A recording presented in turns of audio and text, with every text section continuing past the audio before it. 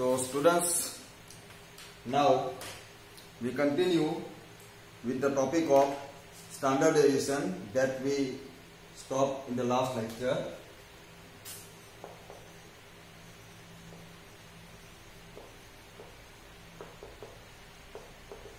We also know that this is known as root mean square. Okay? And we have denoted this by sigma. And we have seen the formulas for this as 1 upon n sigma xi minus x bar whole square whole raised to 1 half. That is square root of the mean of the squares.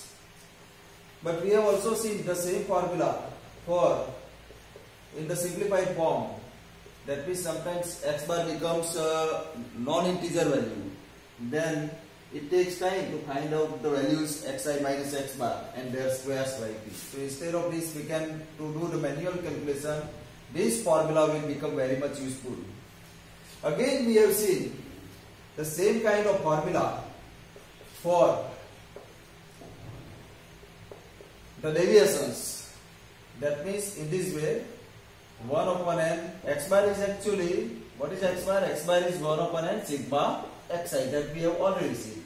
So 1 upon n sigma di whole square whole raised to 1 half. So this is the formula for ungrouped data. Okay? And di is what?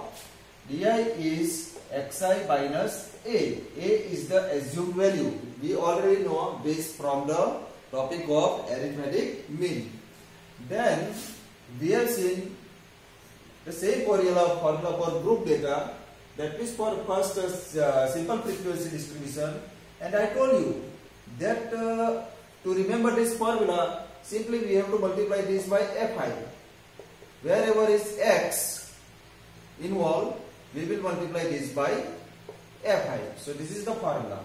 Again uh, like this, the simplified formula for this one is fi xi square minus x bar square whole raised to 1 half. Here not uh, small n, we are using capital N because capital N equal to sigma fi. That is the total of frequencies. Again, like this, we have written the formula in the form of fi di square minus 1 upon capital N minus 1 upon capital N sigma fi di whole square because di is connected with xi and that's why we have uh, we are multiplying this by fi so whole raised to 1 half and the for group frequency distribution if we, we can also use this for group frequency distribution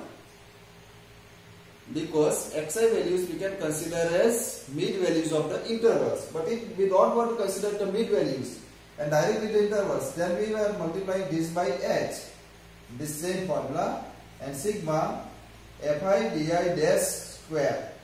Here, sigma fi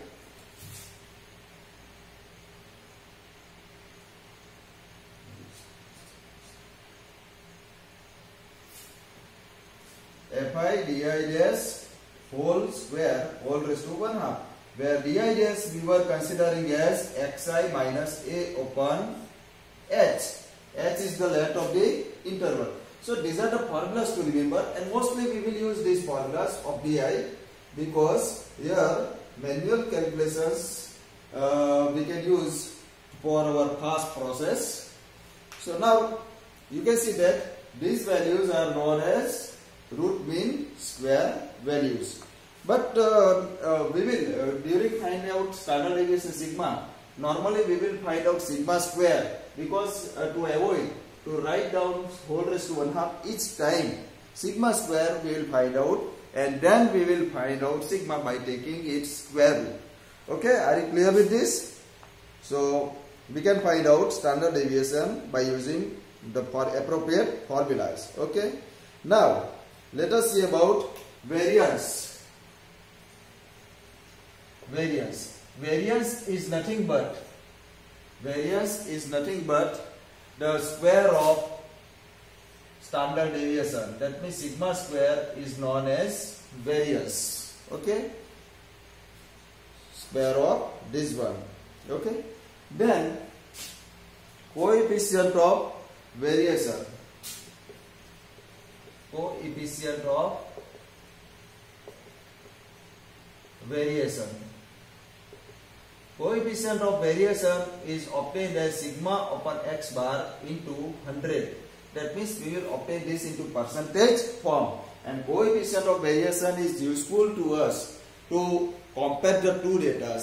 That means uh, if we are comparing the two data, then we need to find out coefficient of variation for both of these things. And uh, sometimes we also denote this by COV coefficient of variation. Okay? So the, uh, the coefficient of variation if it is uh, we compare uh, for the both data and the less value of coefficient of variation tells us that this data is more better than the another data. So less value of coefficient of variation is of very much important so you note down this because every year in every question paper one question always comes from this topic of 4 to 5 marks or sometimes it may also be of uh, 7 marks. Now let us see examples of this kind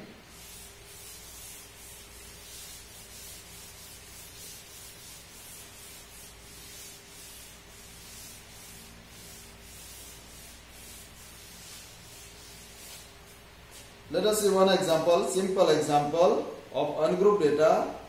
Find standard deviation of the marks. Find standard deviation SD of the marks obtained obtained by the students students and these marks are 65, 58, 67, any numbers you can use. Here it is the game of numbers only. The formula will remain same. Numbers may change in example.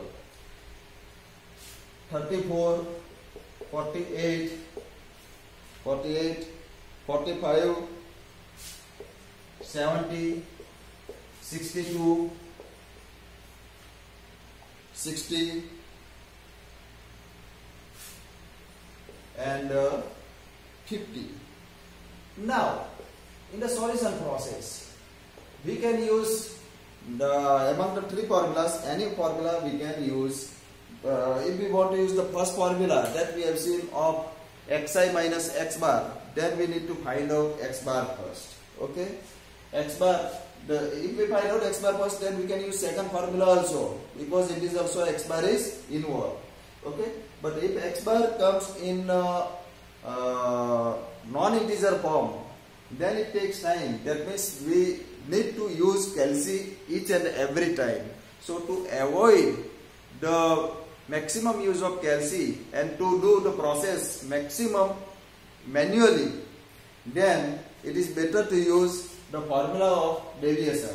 So that means we will use, we have, first of all we will write down the formula sigma square equal to 1 upon n sigma di square minus bracket 1 upon n sigma di whole square. Okay, square root we have not written because we have written over here as sigma, sigma square. So we have the values of xi are given. So to find out di, di equal to xi minus a. So first of all we will assume a.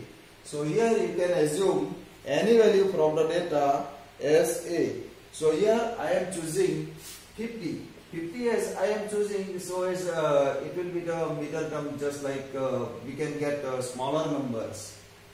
Okay, if I will take highest number then uh, instead of getting smaller numbers I will get some larger numbers. That means that is if you consider the middle one value then you will get some negative values and some positive values and then uh, also smaller values so you will get the you will calculate every each and everything manually very fast. So therefore, what will you get?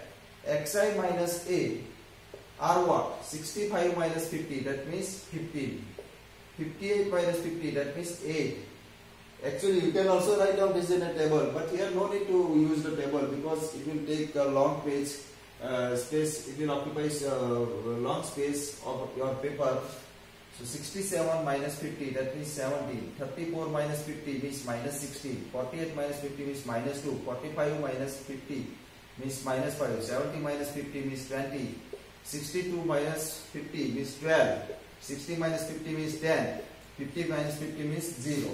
Then we can find out xi uh, and xi minus a is what? This is nothing but di. Okay.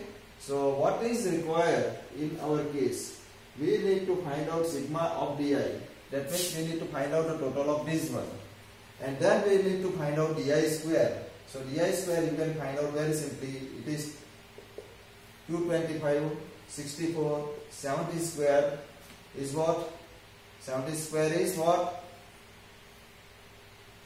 Seven square is forty nine four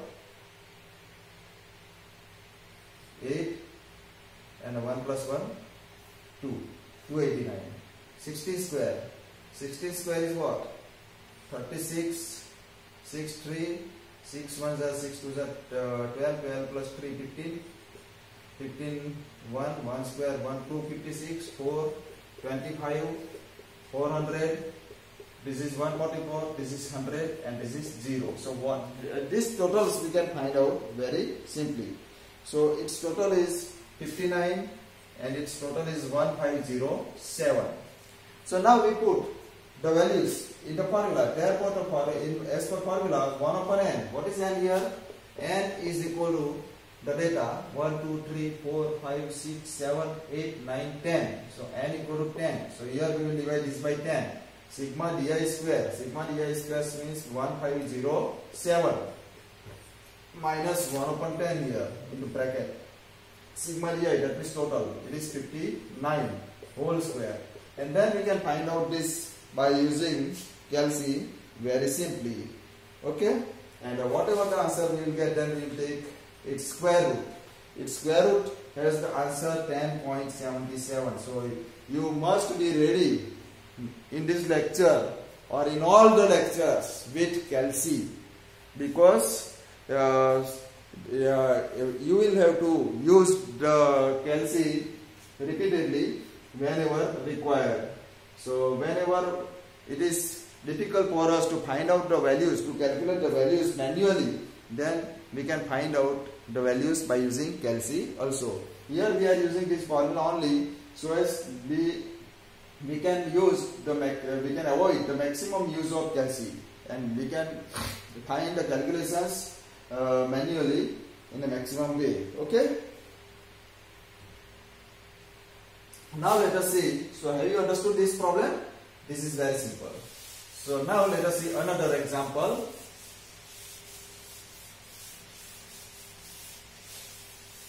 Another example. Find standard deviation for the following distribution. Find standard deviation for the following distribution and you also be ready with your pen and not pen, uh, pen and notebook.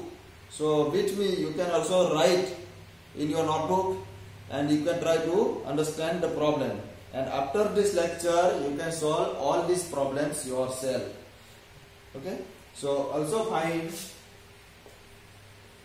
CV CV means COV Sometimes it may also be written as CV. That means coefficient of variation.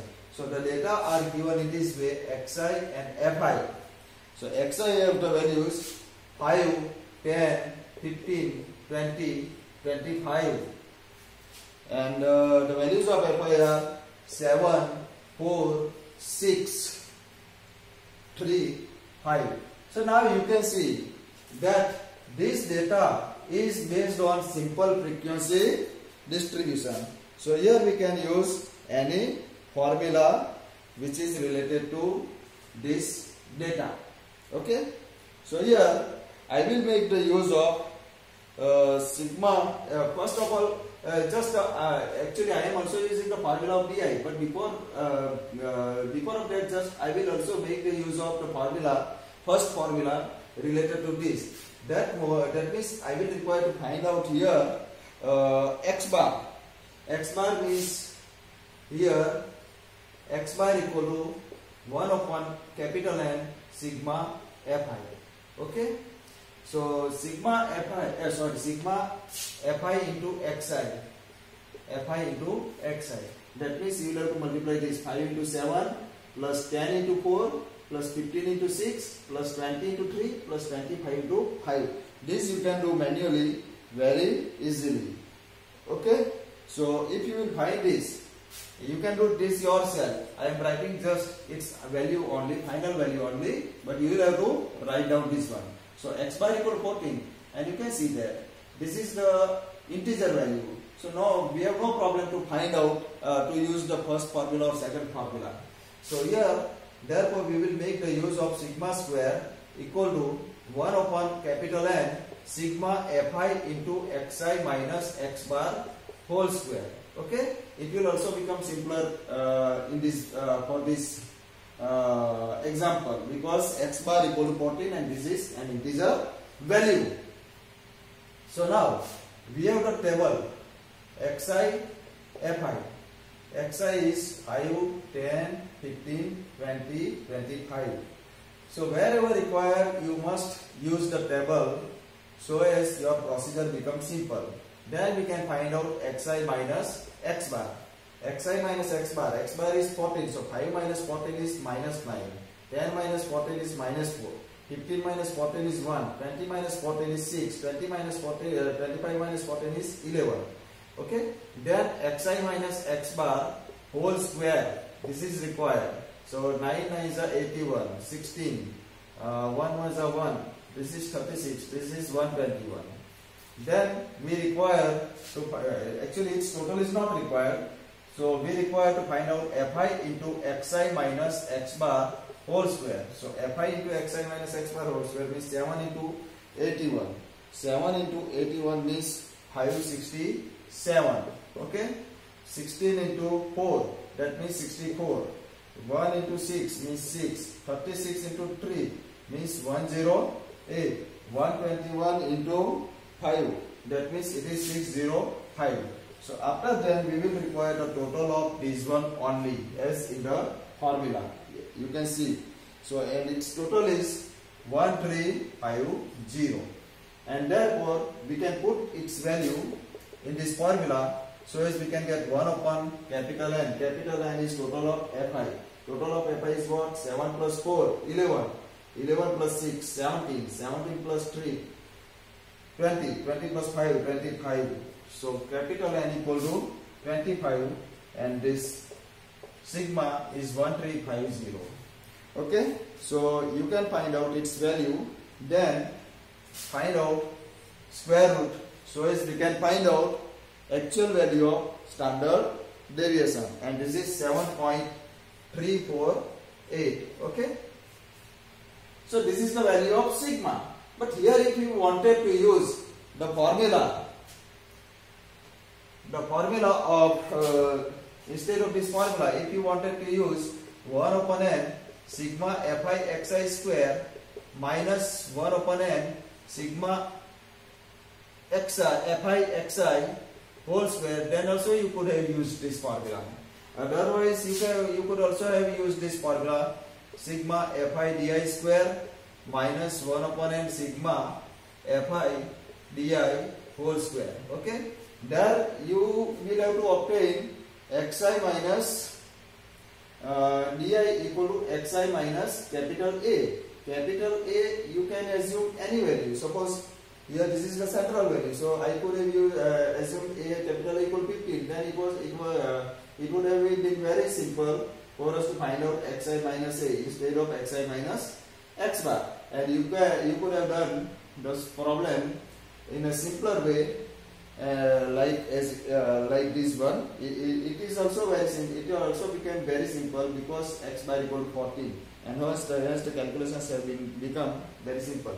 Now it is the question of to find out coefficient of variation. And coefficient of variation this formula we have already noted here sigma upon x bar into 100 so sigma is what? 7.348 and x bar is what? 14 into 100 so you can find out this value and uh, its value you can get 52.48 and hence it is the answer.